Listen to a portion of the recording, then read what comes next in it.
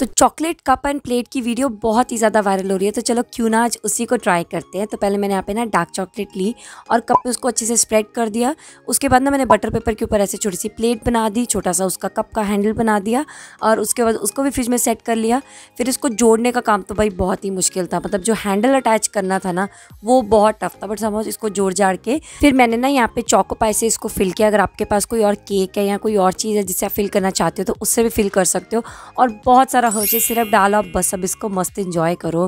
हम्म बढ़िया लग रहा है, बहुत अच्छा था टेस्ट में। अगर चॉकलेट पसंद है ना तो लाइक सब्सक्राइब किए बिना कहीं मत जाना। Bye bye